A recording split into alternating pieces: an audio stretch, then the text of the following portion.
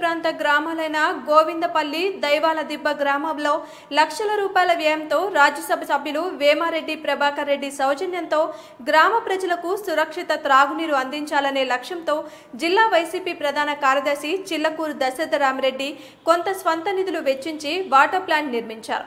వీటిని ఎంతో ప్రతిష్టాత్మకంగా ప్రారంభోత్సవాలు చేయాలని చిల్లకూరు దశరథరామరెడ్డి నల్లపరెడ్డి వినోద్ రెడ్డి భావించి వైసీపీ పెద్దల్ని ఆహ్వానించారు. కొద్ది నెలల్లో ఎన్నికలు దగ్గర పడుతున్న తరుణంలో తీర ప్రాంత గ్రామాల్లో తమ సత్తా ఏమిటో చూపించాలని చిన్న కార్యక్రమమైన భారీ ఎత్తున కార్యక్రమాలు నిర్వహిస్తున్నారు.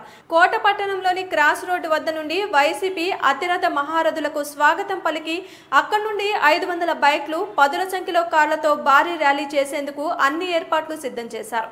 ఈ కార్యక్రమ బాధ్యతలు నల్లపరెడ్డి వినోద్ రెడ్డి నియోజకవర్గ యువత అధ్యక్షులు చిల్లకూరు సాయి ప్రసాద్ రెడ్డి చేపట్టారు.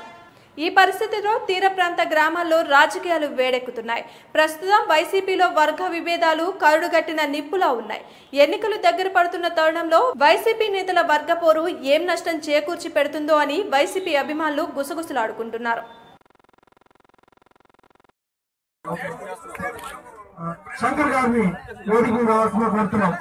యూపీఆర్ ఫౌండేషన్ తరఫున శంకర్ గారిని రావాల్సిందిగా కోరుతున్నాం.